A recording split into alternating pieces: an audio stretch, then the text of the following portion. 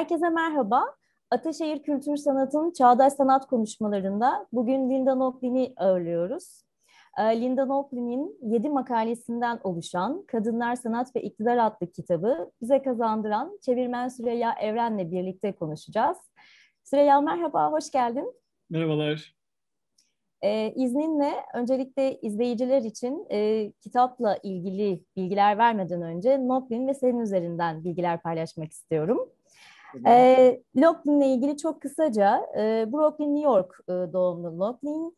E, Vassar College'da felsefe bölümünden mezun oluyor. Columbia Üniversitesi'nde yüksek lisansını yapıyor. Yine aynı yerde sanat tarihi dersleri veriyor. E, New York Üniversitesi Güzel Sanatlar Enstitüsü'nde sanat tarihi doktorası yapıyor. 71 tarihinde hepimizin bildiği o çok önemli Neden Hiç Büyük Kadın Sanatçı Çıkmadı adlı makalesini yayınlıyor. E, makale ve bu diğer makalelerin de bir araya geldiği Kadınlar Sanat ve İktidar adlı kitap neredeyse Nokli'nin 20 yıla dayanan bir e, araştırmasının sonucunda oluşuyor. Kendisi pek çok üniversitede profesör olarak, sanat tarihi profesörü olarak görev yapıyor. Ee, Süreyya şimdi biraz da seni e, tanıtalım. Aslında tabii ki e, hani benim için de Süreyya Evren deyince öncelikle şair, yazar, editör, çevirmen e, kimlikleriyle e, hemen akla geliyorsun. Ama tabii ki seni sen yapan yine çok kıymetli çalışmalar var. Ve bunların sanıyorum en önemlisi senin güncel sanat üzerine e, yaptığın kapsamlı derlemeler. Özellikle İstanbul Modern ve Arter'de yine yaptığın e, yayınlar, içerik koordinatörlüğü gibi görevler aslında yine e, bizi seninle buluşturan önemli çalışmalar. E, Süreyya, şimdi e, kitap üzerinden sanıyorum e, birkaç e, ben daha öncesinde hani öncelikle çeviri anlamında Alhan çevirisiyle e, ben ve pek çok araştırmacı karşılaşmıştık.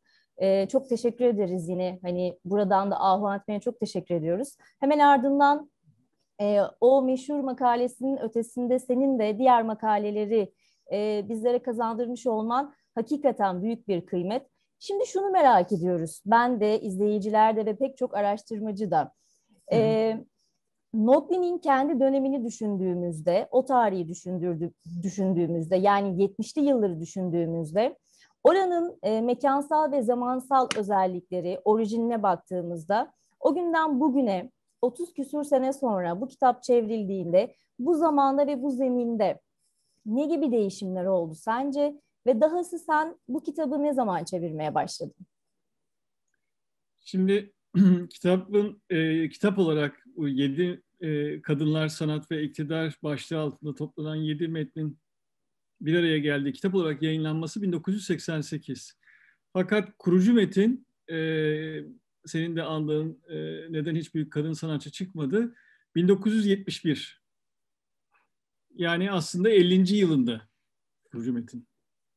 Ee, ve e, yazılmaya başladığı zamanlar hani 70, e, yayınlanışı 71 ki Türkçe'de yayınlanışı tam 50 yıl sonra 2020 başladığı zamanlara göre şu anda biz de 2021 yayınlanışına göre 50. yılındayız. Ee, 71-88 arasında yazılmış e, yazıları içeriyor. Ama bunlar böyle bir e, bir proje kitap gibi değil tam anlamıyla. Yani böyle bir kitaba varmak için e, yapılmış, yazılmış yazılar değil. Onun dışında başka bir şey var. Sempozyumlarda, sunumlarda geliştirdiği, aslında bir canlılığı da olan metinler bunlar. Yani reaksiyonlarla, geri beslemelerle, elden geçirdiği, yeni e, hallere soktuğu ve e, bu anlamda bir çalışma hattını böyle bilinçli olarak, özel olarak işleye işleye e, farklı örneklerle, farklı vesileler ve bağlamlar için işte birinde bir üniversitede bir sunum yapmak için, diğerinde bir e, dergiye, e, özel sayıya bir şey e, bağlamak için, bazen bir sanatçıya eklemek için vesaire yapıyor. 71'deki başlangıcı daha isyan olarak bir başlangıç gibi düşünebiliriz. Hani kendisi de arıza ifadesi gibi ifadeler kullanıyor ya bir çıkış, e, bir kopuş, bir yenilenme arzusu gibi. Ama bu 17 yılda yazıların yazıldığı 71-88 arasını e, kastediyorum. Belki hani e, fark edilecektir geriye doğru okunduğunda da bir bilgi biçimi oluşturmaya dönük bir serüvene, bir çalışmaya evriliyor. E, kitapta e, ters kronolojiyle bunlar yer alıyorlar. Yani en son yazdığı 1988'de doğru, e, oradan 71'e doğru gidiyoruz. En son yazdığı metinden ilk yazdığı metne doğru. Ama bu en son yazdığı metin de gene şeyle beraber hani dönemsellikle okunması gerek. Çünkü e, bu sempozyumlarda sunup o geri beslemelere göre değiştirmeler o kadar hani e, mesela o kadınlar sanat ve iktidar metninde e, önemli bir rol oynuyor ki e, yayınlayıp dosyayı kapatmayı bir tür hani artık bu çalışmaya burada bir bırakalım veda edelim gibi anlatıyor. Hani e, çünkü aslında devam eden bir yanı olan bir çalışma. E, bunu böyle söyleyebiliriz. İkincisi Türkçe'ye geç mi geldi? E, daha önce gelebilir miydi? Bu bunu da tabii ki kastediyorsun. E, evet böyle bir iz, his veriyor ama şunu da düşünmemiz belki de e, isabet olur. Şimdi kitaba birkaç açıdan, yayıncılık açısından da baktığımızda birkaç açıdan bakabiliriz.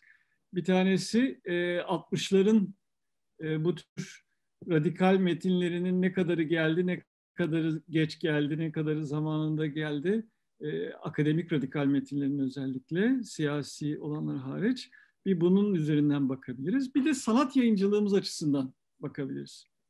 E, şu söylenebilir ki özellikle 2000'lerde, 2000'lerin ortalarına itibaren e, Türkiye'de güncel sanatın çok öne çıkması ve güçlenmesiyle beraber 2010'lardan sonra son 10 yılda açıkçası e, sanat alanındaki kaynak ve yayın e, sayısında ve niteliğinde ciddi bir artış var. Kesinlikle. Bu, bu bir 15 yıl yani e, bu işlerin yükselişe geçtiği 2005 ile karşılaştırdığımızda mesela bir 15 yıl öncesiyle müthiş bir artış var. Bu artış çift yönlü. Çift yönlü derken bir mevcut kültür yayıncılarının sanat dizileri çok gelişmiş durumda.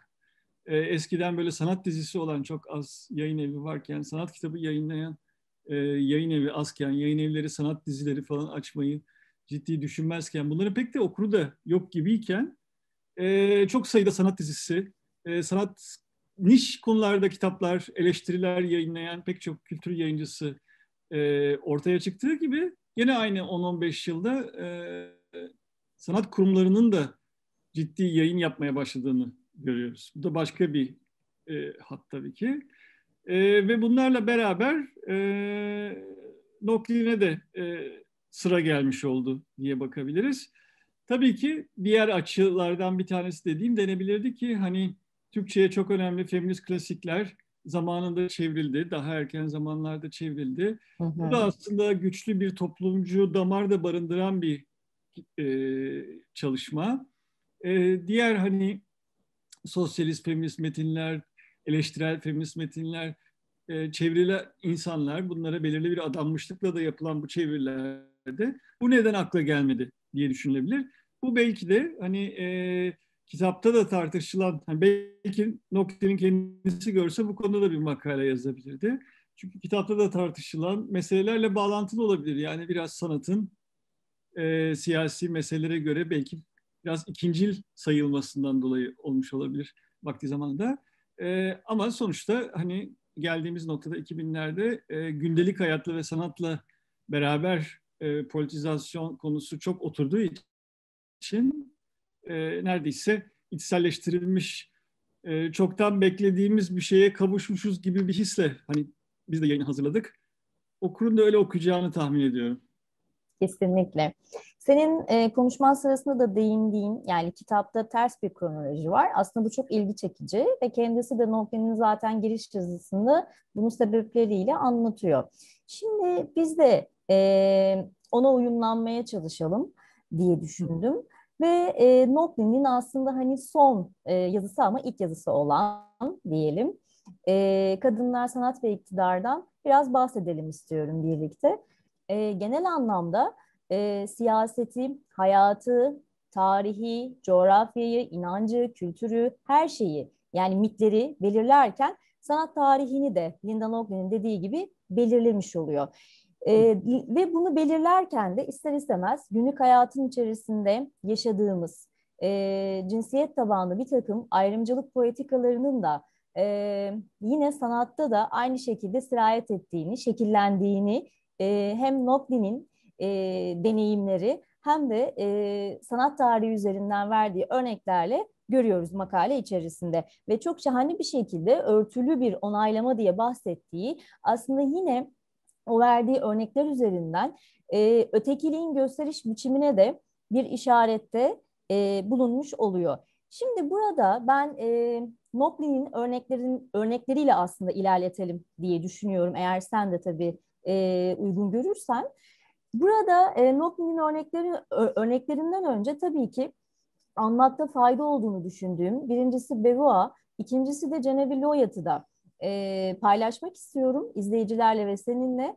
E, yine e, bu minvalde görüşlerini dile getiren, e, yani cinsiyet farklılıklarından doğan eşitsizlik pratiklerine ilişkin ben Beauvoir'ın ikinci cinsini analım derim. Çünkü Hı. ikinci cinste e, senin de çok iyi bildiğin gibi kadınlarla erkekler arasında bu bölüştürülmüş e, eşitsiz toplumun e, buranın erkeklerle ilgili olduğu kadar kadınların da bu işte büyük payı olduğunu imler. Çünkü Beva'ya göre ataerkil düzende kadın erkeğe göre ikincil olan ikinci cins olandır. Genevieve Loyat da yine e, o muhteşem Erkek Akıl e, kitabında Beva'yı e, ve Beva'nın e, bu bilgilerini refer, referans alarak e, çalışmasında bu konuyu bir adım daha ileri götürüyor. Ve o da düşünce tarihinde aslında bu ayrımcılık politikalarına ilişkin e, kadınlarla erkeklerin bir takım çeşitli özelliklerine göre şekillendirildiğini ima ediyor, ifade ediyor, örnekliyor. İşte kadınların duygu, erkeklerin akıl olarak tanımlandığı vesaire vesaire. E, bununla birlikte biraz önce de e, bahsettiğim gibi yani biz bu ayrımı, bu eşitsizlik poetikasını sadece yaşamda görmüyoruz. Şimdi sanatta etkin bir şekilde e, görünümünü Nokli'nin üç ya da dört tane makale içerisindeki örneğiyle e, aslında biraz da pası sana atarak e, ilerlemek niyetindeyim. Ama yani o örneklerde benim gözlemlediğim özellikle de e, şu biraz imge olarak da kullandığı kesilmiş bacak görüntüleri.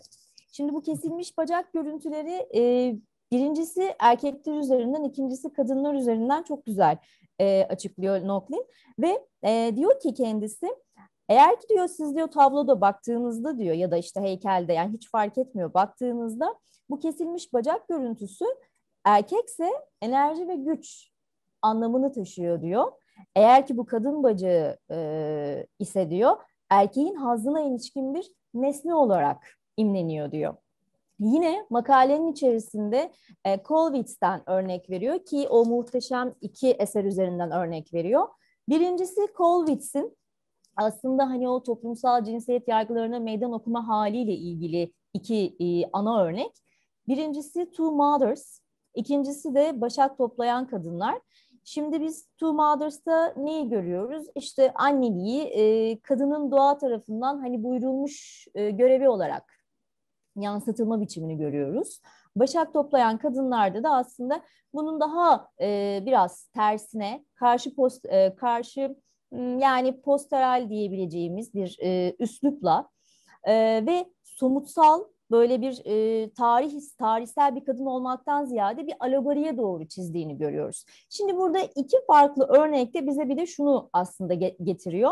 Diyor ki yani e, Kolwitz diyor işte Two Mothers'ta e, bir tarafta birebir e, kadının e, hani bu ataerkil e, düzenin işte doğa e, kültür dikotomisine ayırdığı, kadını ve erkeği bu şekilde biçimlendirdiği bir yerde e, kadını annelikle birlikte eşleştirirken yani doğa tarafından buyurulmuş bir e, ona görev olarak eşleştirirken öte tarafta başak toplayan kadınlarda ise başka bir güç, başka bir görev olarak e, imliyor bize. Ve aynı zamanda yine tarihsel, mitsel, e, arketipsel başka bir yere giderek oradan bir dönüştürme gücüyle yine Buray'ın e, delimek e, arketipini alıyor ve diyor ki işte bakın diyor burada da diyor e, şeye çeviriyor. Yani onun deli mekinin başak toplayan kadınlarda başka bir e, sınıfsal bir ötekilikle yaratıldığını ima ediyor. Şimdi bu e, örnekler o kadar çok ki aslında makale içerisinde. Yani hani hepsini böyle burada almayayım e, ve şuraya bağlayayım. Sence e, Notlin'in tam da burada yani o toplumsal cinsiyet yargılarına meydan okuma haline verdiği örnekler üzerinden e, sanatta iktidar nasıl işler? Şimdi sanatta iktidar nasıl işler sorusunu tabii başlıkla da beraber düşünecek olursak belki de e, üçe ayırıp açmak lazım. Kadınlar sanat ve iktidar başlığını gören bir okur buradaki iktidarın e, siyasi iktidar olduğunda gayet düşünebilir. Yani kastedilen Trump idaresi ve kadınlar gibi bir şey mi acaba diye düşünebilir. E, çünkü aslında iktidar deyince çok sıklıkla siyasi iktidarı kastetme eğilimimiz her zaman var zaten. E, ilk akla onun gelmesi yaygın bir e, tutum. Ve sanatçıların iktidarla ilişkisi diye bir tema olacağı zaman sanatçıların siyasi iktidarla ilişkisi ve kurumlarla yani siyasi iktidar kurumlarıyla ilişkisi evet bir ana bir tema bu ve işlenir. Bir başka tema ama sanatçının e, sanat içi iktidarla ilişkisi. E, sanat içi iktidarda e, hem sanatın e, kendi günündeki karar alma mekanizmaları, suyun başını tutmalar e, vesaire vesaire güç ilişkileri yani burada iktidar dediğimizde e, çeşitli güç ilişkileri, erk ilişkileri, e, pozisyonlar, konumlar, e, dışarıda bırakmalar, içeri almalar, e, akçeli işler, e, işte payeli işler, prestij dağıtmalar, e, prestij saklamalar, örtbas etmeler falan. Hani bizim eski edebiyattan şeyde işte sükut suikastleri bunların hepsinin devreye girdiği bir alan e, ortaya çıkıyor. Bu geriye dönük yani anlık günün sanatı için söz konusu olabildiği gibi sanat tarihsel olarak da sanat içi iktidarlar e, ve sanat tarihi yazımı içi iktidarlar yani neye göre yazıldı e, meselesi gündeme gelebiliyor. E, ki sanat tarihi içi iktidar dediğimiz şey bugünkü sanatın neliğini de etkileyen bir şeydir. Bu diğer bütün tarih yazımı disiplinlerinde olduğu gibi yani e, neyin tarihini nasıl kurduğunuza göre e, onun neliği belir, belirginleşmiş ve değişmiş oluyor. Ona göre bugünü de etkileniyor. Üçüncü kanal belki e, bir teorik bir konsept olarak biz iktidar nosyonuyla sanatın ilişkisi. E, bu da tabii işi daha da çetrefil, daha derin bir hale sokan bir kanal. Çünkü sanatçının kendisinin yeteneğiyle, yaratıcılığıyla ya da vizyonuyla veya dünyasıyla da elde ettiği bir erk bir iktidar var. E, bunu kullanış biçimleri de söz konusu olabiliyor. Bunun kendi gündelik hayatıyla ilişkisi de devreye giriyor. Sanatçıların birbirleriyle ilişkilerindeki e, erk nosyonu da tekrar devreye giriyor vesaire vesaire. E, şimdi bakınca bu bir makalenin bu kadar önemli olması neden diye de tabii hani okur sorabilir. 1971'de yayınlanmış bir makaleden neden bu kadar geri dönüp bahsediyoruz, niye yayınlandı diye e, bu kadar e, büyük bir olay tadı alıyoruz veyahut neden kitap onun üzerine kurulmuş değil mi bütün şeydeki. Hı hı. E, şimdi bunun temel sebebi aslında yaptığı şeyin e, basit olmaması olmak halde yaptığı şeyin. Yani ne anlamda basit olmaması? Problemi ilk önce basit tarif ediyor değil mi? Hani kadın büyük kadınlar ve iktidardaki bir e, pozisyon basit bir problem gibi ilk önce tarif. Ama sonra bunu e, tamir etmek için basit bir yola sapmayıp soruya soru sorması işi derinleştiriyor. Yani e, şunu tabii ki yapabilirdi. İşte Kollwitz'ten bahsettin.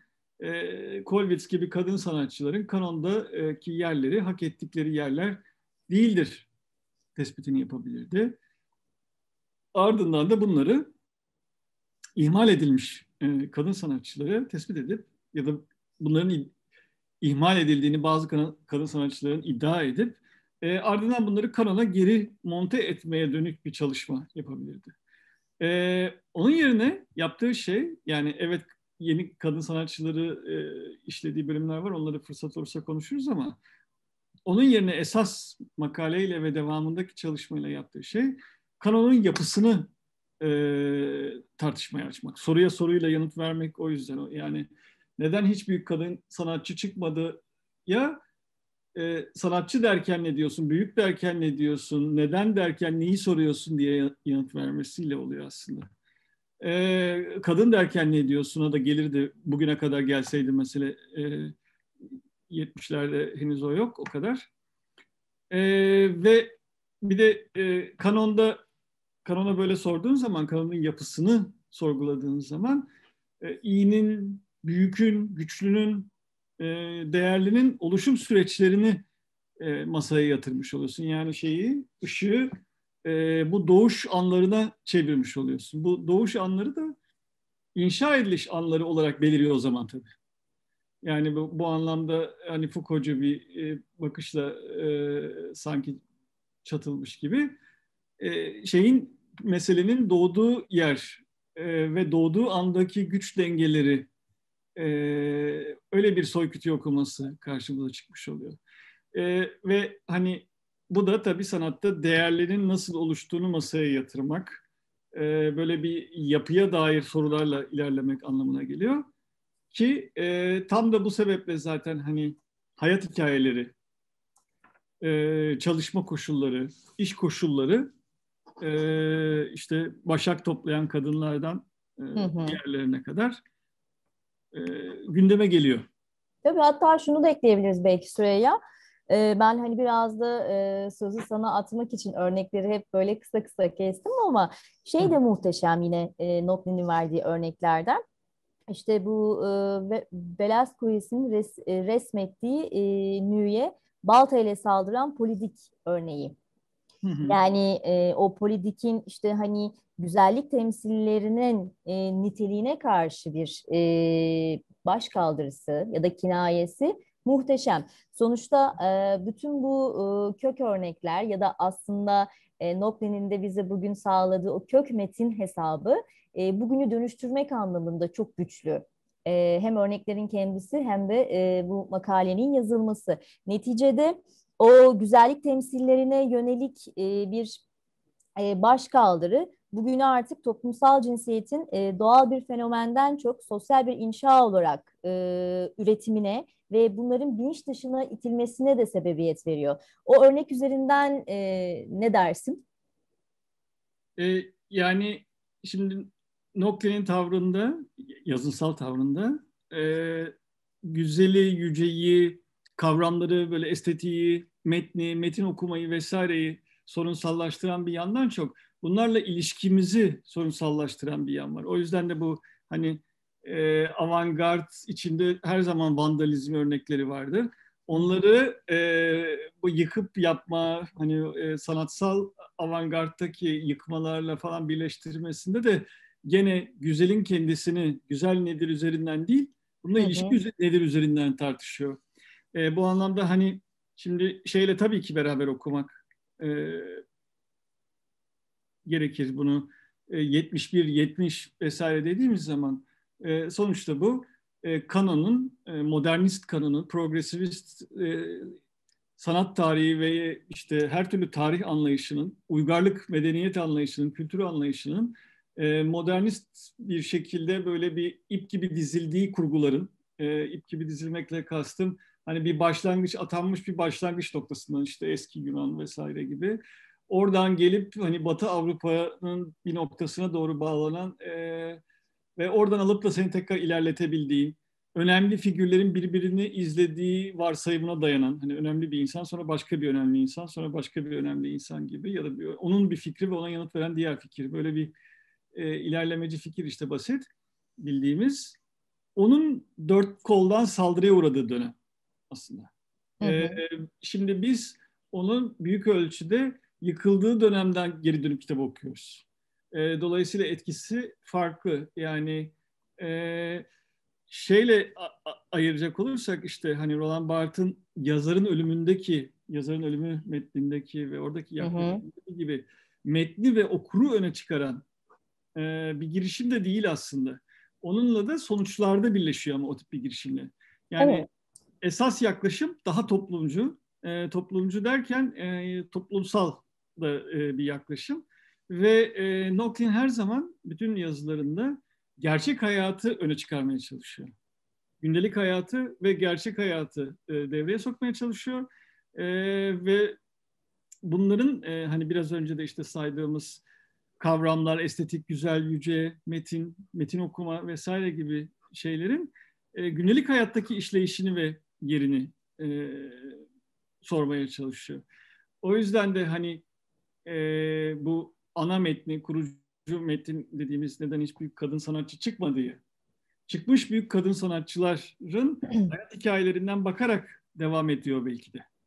E, ve onları tek tek ele aldığı her kadın sanatçıyı e, kişisel yaşamından detaylarla, e, iş koşullarıyla e, sanki gerçekten bir e, çalışma hayatı kroniği çıkartıyormuşçasına ele alması e, kritik bir fark. Aslında tam da yani yaptığı şey feminist sanat tarihçiliğinin e, özellikleri. Yani sonuçta e, gündelik hayatın içerisinden deneyimlerle, kadınların yaşadıklarıyla, e, kadınların erkeklerle birlikte yaşamış olduklarına bakarak onlara ilişkin e, poetikaları deşifre ederek ve elbette e, kendisinin özel ilgi alanı olduğu sanat tarihçiliği bağlamında ve sanata ilişkin e, örneklerle Hı. senin de altını çizdiğin gibi tam da e, bu yüzden gündelik hayatın içerisinden e, bir bakışla Nochlin bunları gerçekleştiriyor. Yine mesela e, hani senin şimdi buraya getirmiş olman beni hemen şeye taşıdı. Çünkü zaten e, kitabın içerisindeki makaleler de birbirine bu şekilde e, senkronize gidiyor e, bakıldığında. Mesela üçüncü makale aklıma geldi. Kaybolmuş ve bir, kaybolmuş ve bulunmuş e, adlı olması gerekiyor. E, üçüncü makalenin ismi.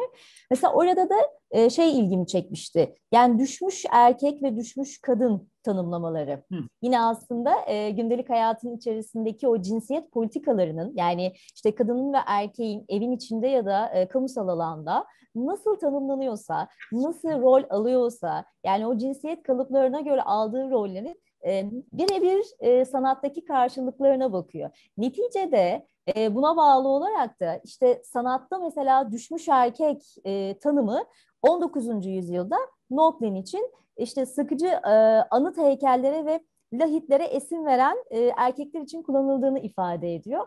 Yine aynı şekilde düşmüş kadın tanımlaması için de evlilik bağı olmaksızın bir cinsel eylem içerisinde bulunanlara e, verildiğini ifade ediyor. Yani bir tarafıyla e, derdi e, aslında Locklin'in e, bir eşik atlama, bir eşiği açma da diyebiliriz. Yani tamamen o eşik meselesi. Çünkü e, cinsiyet eşitsizliğinin zaten e, kendisinin bize dayattığı yer. O eşiği geçme, o eşiği atlama. E, yine biz e, bu örnekler üzerinden ilerlersek e, sana hani e, şuraya bağlamaya çalışacağım. Peki e, sanatta o halde hani e, bugün kadının rolünün e, yeri üzerinden ne diyebiliriz? E, şimdi düşmüş bedenden e, sen bahsedince biraz önce de kesik bacaktan da bahsetmiştin. E, orada şey notunu belki e, bugüne gelmeden önce unutmadan düşmek e, iyi olabilir. E, bedenin bu şekilde e, teorileştirilmesi, ana bir mesele haline getirilmesi. Bu da gene 68 sonrası e, bir tutum. E, hı hı. Tam da o zamana denk gelen yani belki... Tam da aslında politik bir eylem değil mi? Evet ve neden belki de zamanında Türkçe'ye çevrilmediğini de e, bir diğer açıklaması olabilir. Çünkü ideolojiyi öne çıkartan bir tutum değil. E, ideolojik olanın bedensel olandan daha önemli bir teorik mesele olduğunu düşünüyorsan önemsiz bir yaklaşım. E, ideolojiyi arkaya alan ama e, bu gündelik olanı, bedensel olanı ve oradan düşünmeyi öne alan, deneyimi bu anlamda e, öne alan bir yaklaşım. Bizim Türkiye'de daha çok böyle 90'dan sonra biraz daha postmodernizm tartışmalarıyla vesaire e, temas ettiğimiz bir şey. 68'in e, bu yanlarının geç gelmesiyle de aslında bize. Dolayısıyla biz hani e, beden okuması üzerinden bir... Aslında oraya çok küçük şunu ekleyebilir miyiz? Yani 68'lerde ya da 70'li yılların içerisinde e, bu tür eylemler e, fazlasıyla oldu ama 90 ve sonrasında deşifre edilmiş biçimlerde gerçekleşti bence bedenle kurulan ilişki ve beden üzerine sanat eylemliliği. Yani şunu demek istiyorum. E, sol sanat eleştirisinin hakim olduğu 60'lar 70'ler Türkiye'sinde e, beden üzerinden eleştiri geç, geliştirme tabii ki henüz yoktu. Yani modernizm içinde olduğumuz için hı hı. eleştirinin kendisi de gene e, başka bir sol modernite içerisinde oluyordu. E, hı hı.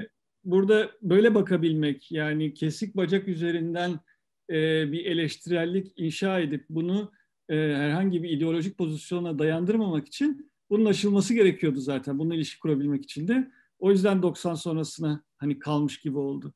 E, ve hı hı. 2020'ye giderek.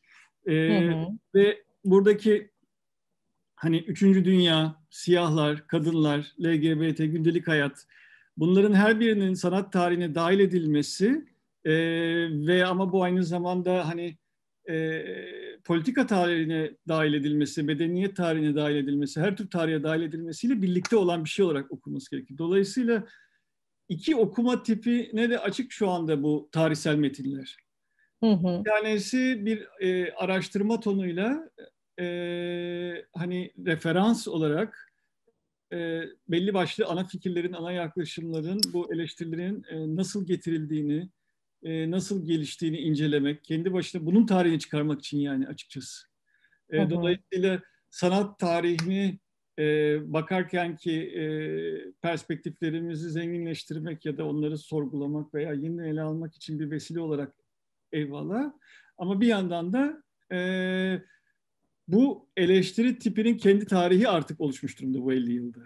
E, ve o tarih açısından bakarsak e, bu metin mesela kült metin olmuş oluyor o zaman. E, bu makale. Çünkü e, onun üzerine kurulmuş e, şimdi bizim e, bugün çok başka hani bugüne getirelim demiştim. E, çok Aha. başka e, meselelerimiz var değil mi? Yani e, feminizm konusu da çok yeni post feminizmden sonra da yeni konu, yeni noktalarda e, günümüzde başka tartışmalar vesaire dönüyor. E, ama bütün bunların hani sanatla ilişkisi de başka noktada geriye döndüğünde böyle bir tarihi meselesi var. Ama onu aşan yani tarihsel olarak pozisyonunu aşan kendi başına hala daha cevap veren e, verimli kısmı bence özellikle bu e, soru sormalarındaki açıklık ve esneklik. E, Kesinlikle. Yani mesela e, sanatçıları öne çıkartırken ki tutumlarında da e, bunu görüyoruz. İşte Florin Stetheimer'ı öne çıkartışını mesela düşünelim. E, hı hı. Bu e, bu hiçbir şekilde e, ideolojik bir pozisyonla yapılacak bir öne çıkarma değil söz gelimi. Yani Kolbitz'i biz Türkiye'de de çok duyuyorduk. Neden? Çünkü ideolojik olarak da oturuyordu bir yere. O yüzden Kolbitz'i duyuyorduk. E, Florence Stetheimer'ı da o yüzden duymuyorduk. E, duymuyorduk çünkü oturmuyordu. Yani hem sosyeteden bir insan e, hem o hani hav havailiği değil mi? Evet evet kesinlikle. E, e, onları öyle tatlı işliyor ki Noklin. Hı hı şu, şu da demek bu, e, günahtan kaçmamak gibi. Bir de bu real hayatla e, okuma dediğimiz şeyin de detayları aslında çok zevkli çünkü e, hani ressamı bir resimde ressamı e, ressamın bebeğini emziren süt anneyle beraber ve bebekle beraber incelediği mesela sahnede e, ona baktığında e, buna e, süt anne olmanın ekonomisine dair veriler de ekliyor. Bununla ilgili çalışmaları da dahil ediyor. Hı hı. Ve sosyolojik şeyleri de. Yani kimler süt anne oluyordu? Hangi köylerden, kasabalardan? Bunlar nelerden, hangi hangi modernleşme aşamalarından etkileniyorlardı? Ee, süt annenin e, ihraç eden kasabalar, köyler nasıl bir yerdi? Bunları alanlar... Sınıfsal farklılıkları da koyuyor. Sadece sınıfsal da değil. Yani aynı zamanda lok, coğrafi, sınıfsal e, ve zamansal, hani belirli bir zamanı var bunun, bir takım başka şeylerden etkileniyor ve o sırada onlar patlıyor, çöküyor. E, ve şeyle de birleştirmesi de özellikle kuvvetli yapıyor. Mesela sadece süt anneye göre e, ressam orada hani iki farklı konumda kadın karşılaştırdığı bir yer olarak bakarsak ona e, süt anne tutan kadın ve onun e, işte kız çocuğu bebeği böyle bir üçlüme gibi yaptığını düşünürsek ama bir yandan da aynı e, ressam kadının da iş satmaya çalışırken ki pozisyonunu da gündeme getirdiği için. Evet. Hı hı. E, bunlar böyle e, tek bir hani sınıf konumu, tek bir ideolojik konumdan değil de birbirlerine eklenerek çoğalarak gidiyorlar ve çeşitleniyorlar tabii ki. E, ve bunun hani bir iş olarak ne anlama geldiğini bakıyor olması. Hani yukarıda söylediğim işte kavram olarak yüce, güzel onlara çok fazla ilgilenmemesi. Onun yerine bir iş yani ortaya bir şey kondu. Bunun piyasadaki işleyişi nasıl oluyor? Bunun üret, üretim koşulları nasıl işliyor? Ee, bu ürüne nasıl varılıyor? Sonra bu ürün nasıl dolaşıma giriyor? Ve buradaki eşitsizliklere vesaire de baktığı için e, bu, bu da tabii yani otomatikman nasıl ilişkiler doğurduğuna e, geliyor. E, bütün e, kişisel hayatların, e, para ilişkilerinin ve e, fiziki ilişkilerin işte Stetheimer'dan bahsederken dedik ya sosye, sosyetede olmayı da ele alıyor ama e, mesela sosyeteden olduğu için avantajlı ama e, Yahudi olduğu için dezavantajlı bir konum olması. Ve bunun son derece farkı. O yüzden mesela e, hayat hikayelerinin çok devreye sokulduğu sanatçı okumaları ama bunlar işleriyle de karşılaştırarak yapıyor. Yani e, hani dedin ya işte kadınlara özgü olduğu varsayılan temalar. Hı hı. E, bu, bunun hani e, doğululara özgü olduğu varsayılan temaları da vardır değil mi? Hı hı. E, doğulu sanatçılardan beklenen temalar ya da işte kadın sanatçılardan siyahi sanatçılardan beklenen temalar falan gibi. Belirli arketipler var çünkü onların devamcıları da bekleniliyor. Ama Noklin e, senin de hani bahsettiğin gibi oraları yıkma e, derdinde ve aslında o yıkmaları bir de hani bugün neden hala bu kitap bu kadar güncel ya da işte neden bu kadar e, kök metin diye bakıyoruz ve Kürt bir kitap olarak elimizde duruyor. E, kendisi cevaplardan çok aslında sorular bıraktığı için ve onun bıraktığı sorular sayesinde bizim de yeniden ve farklı soruları sorabilme şansı yarattığı için yani sonsuz soru sorabilme imkanı tanıdığı için belki de e, Nokli'nin özellikle neden hiç büyük kadın sanatçı çıkmadı e, makalesi e, son derece alan için e, kült bir metin kesinlikle.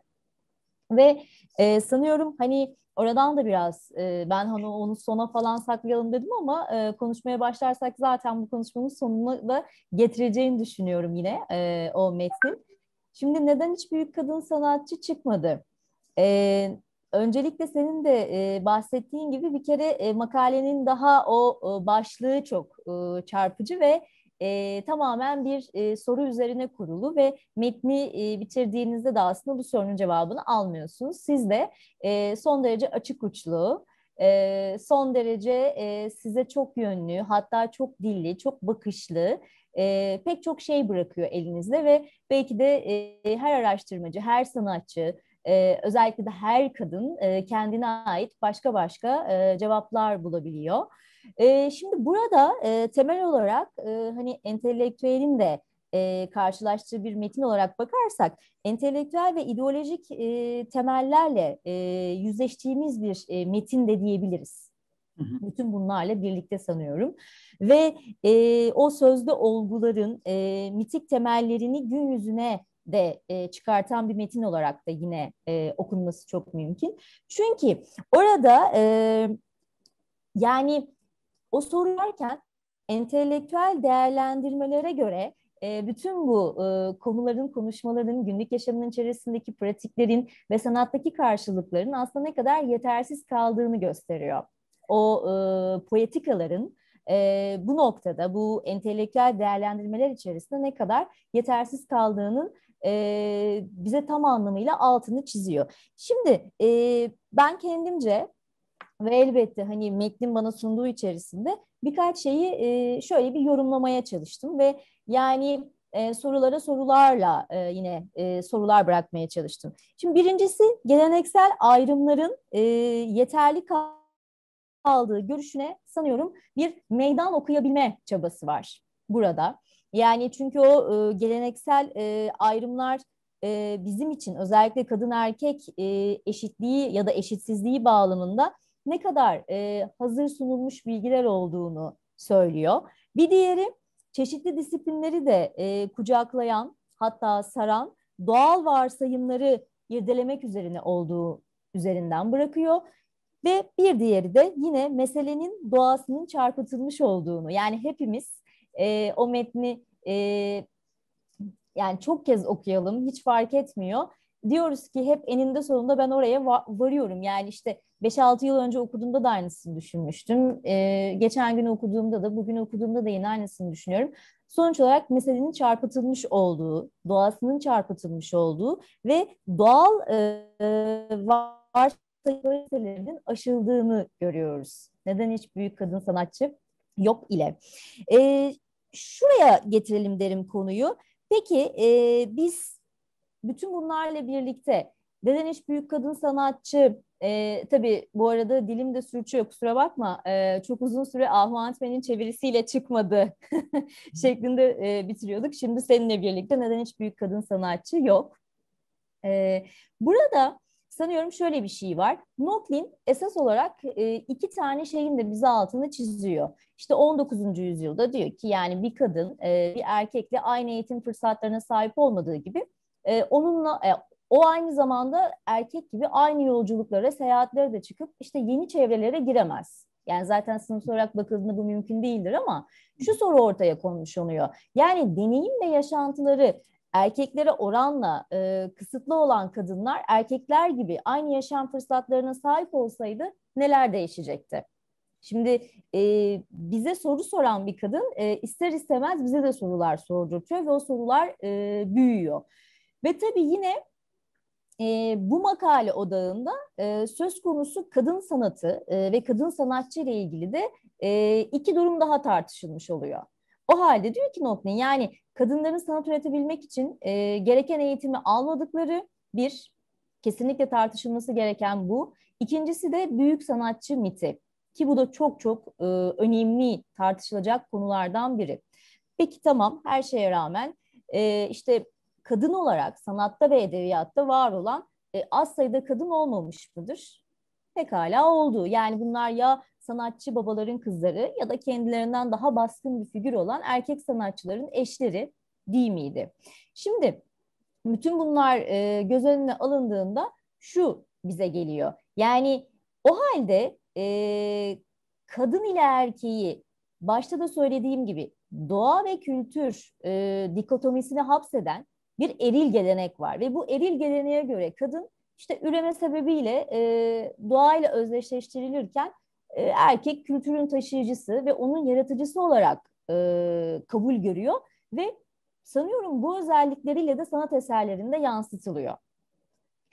E, peki o halde bütün bu meselelerin odağında e, bir örneği önce seninle paylaşayım ki sözü sana e, verebilmek için daha sonra senin sözünü de yine aslında kesmemek için tam da e, bütün bu soruların odağında bir e, şahane Picasso örneği sunuyor.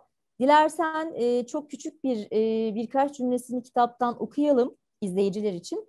E, devamını da birlikte yorumlamaya çalışalım. Şöyle diyor Noklin.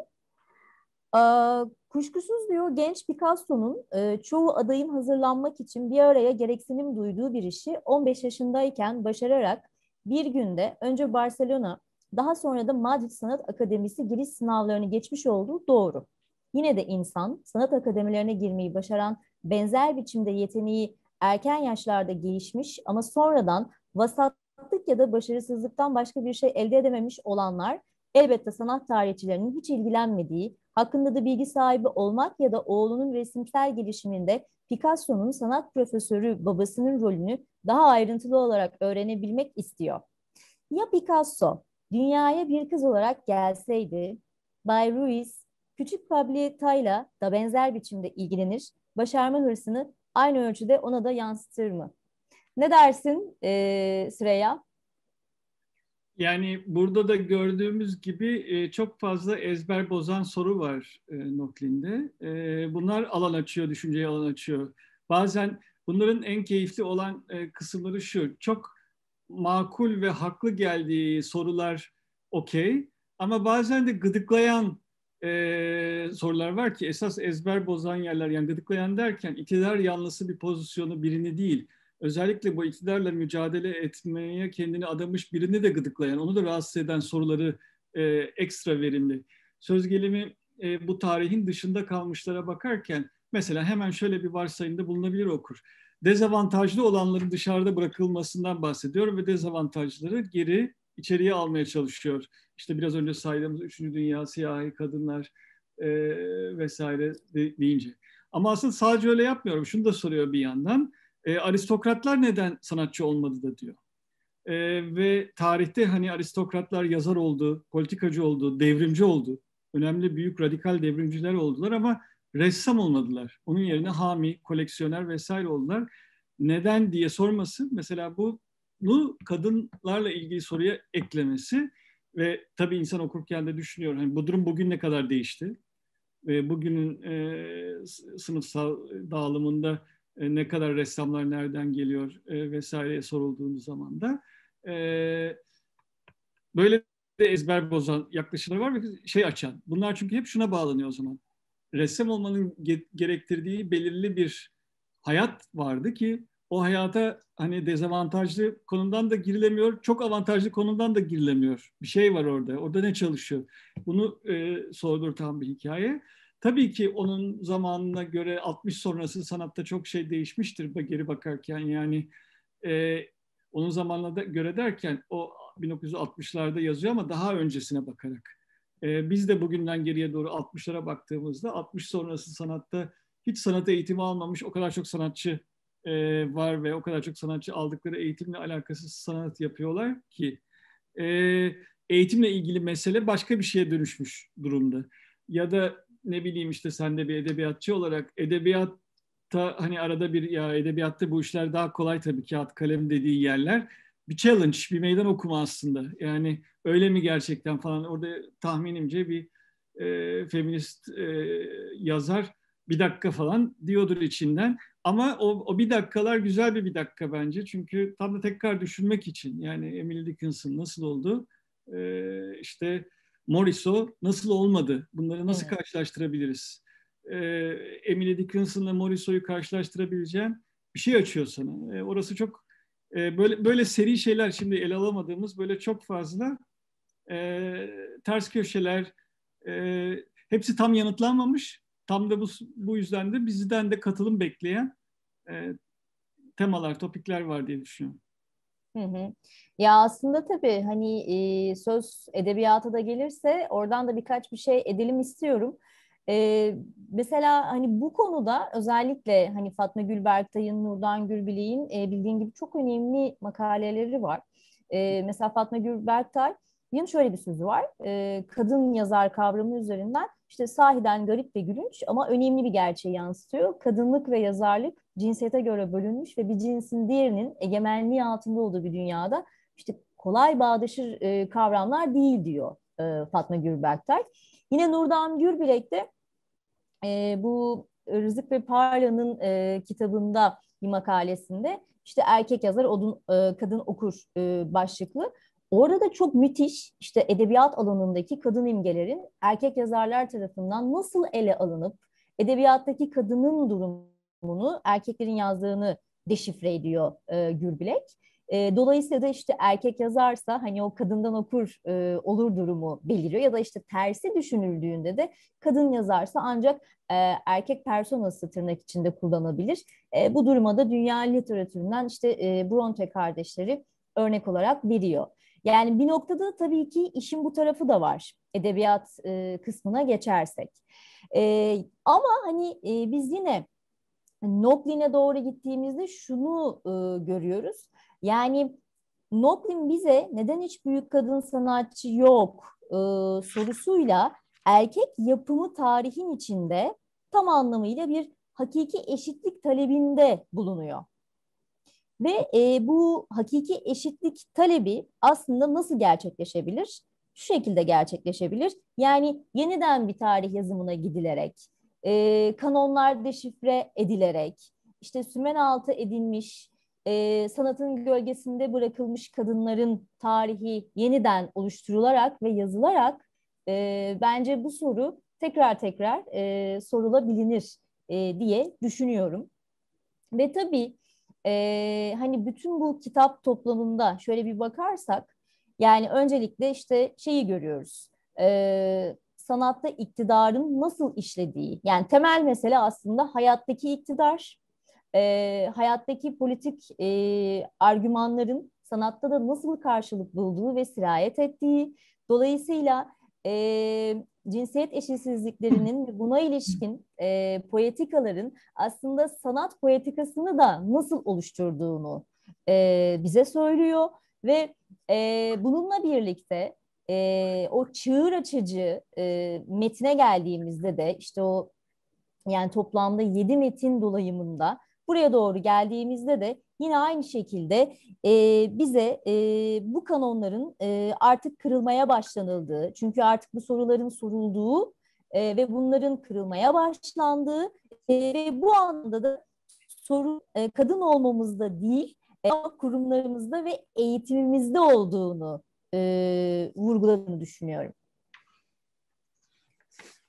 Evet, e, yani sanırım zamanımız da doldu gibi tek hani e, ekleyebileceğimiz bir şey zamansal olarak belki e, 88'de kitabın tamamlandığı tarihin bile pre-internet bir tarih olması.